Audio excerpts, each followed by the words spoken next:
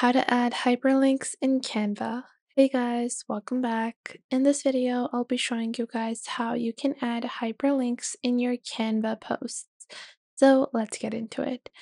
Now, to create hyperlinks and link different types of websites on Canva is really simple, and you can do this with any type of design that you want. So let's say that I have a presentation and I want a hyperlink in my presentation. So this is a simple presentation template and I'll just make this related to makeup.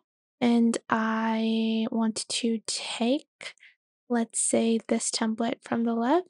And over here, let's say that I want to just make a simple presentation and I'll add a secondary page. And in my secondary page, let's say I am going to be comparing two different products. So let's say I have the Rare Beauty lip oil versus maybe something like the Fenty lip oil or lip stain.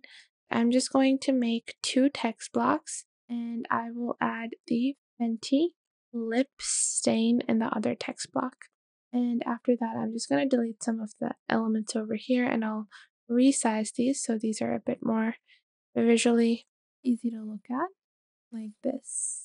So now that we have two separate texts, it's time to actually link our text or hyperlink our text. So to do that, you can do this with elements as well as text, but to do this, I'm simply going to select the text box. Then I'm going to click on these three dots. Then I'm going to click on link. And now I'm going to copy this link. So this is, you know, the lip oil I want to link, and I will paste in that link and then click on done. Now once you click on done, this will have a underline, so you can click on the text box again and then click on the underline to remove the underline. And now I can do the same thing for the Fenty one, and I'll just copy the link for Fenty, and then I will go back over here and click on the text box, click on a link, and then paste in the link, and then click on done, and then remove the underline. Now, even though this is a presentation, the hyperlinks will remain, and if someone during the presentation clicks on the Rare Beauty Lip Oil or the Fenty Lip Stain, they will be led to those particular website links. However, there are a couple of things to keep in mind if you are doing hyperlinks. So, in comparison, let's say that you want to add a Rare Beauty lip oil versus Fenty stain. And you have one text block that has both the links that you want to add. So in that particular situation, just highlight one section of your text and then click on link and then just paste in your link. So you don't have to necessarily select the entire text. You can just select one section. And even though all of this is present within one text box, I can actually add two different links to this. I'll copy this one and then I'll paste in this one and then click on done and then click on done. And you can choose to remove the underline like so. So this is how you can add a hyperlink in Canva to do to two different types of sections. But if it is one text block, you can actually add it to one text block as well. Now, another alternative is maybe images or elements. So let's say you have two different images that you want to link. So let's say this is one of our images. I'll pick out a image like this one. Let's say this is image number one, and then this is image number two, like this. And I want both of these to link to different pages. So for that, you can simply select the image, click on the three dots, and then click on link, and you can add your link over here. And then I'll add a perfume link over here. I'll just add a perfume like this and then I can copy the link for this and go back into my element and then click on these three dots and then click on link and then paste in my link over here and then click on done. And in this way you can hyperlink in the form of separate text blocks, the same text block, as well as different elements. Now, one very important thing to note if you are doing this is the way that you're going to save this because that is what actually makes these clickable or not. Because if you save these incorrectly, that would actually not make your links clickable which is obviously going to defeat the purpose of having this. So the way that you can actually do that is by clicking on share and then clicking on download.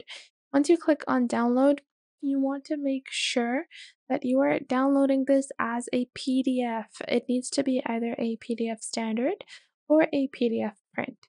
You cannot download hyperlinks or your hyperlinks are not going to work if you are downloading in the form of a PPT, JPEG, MP4, PNG, SVG, or GIF. For your hyperlinks to work, make sure to use a PDF and then click on download.